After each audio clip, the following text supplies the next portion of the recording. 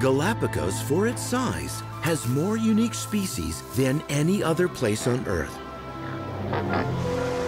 Why? These islands provide an enormous variety of isolated habitats in which to live. And the reason for this lies beneath the Earth's crust.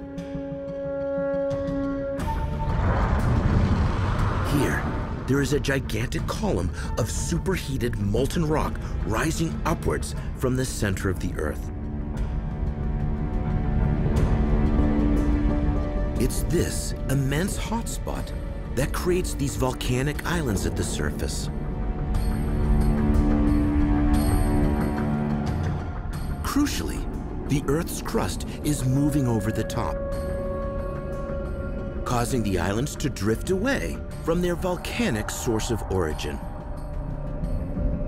In the process, they change form many times.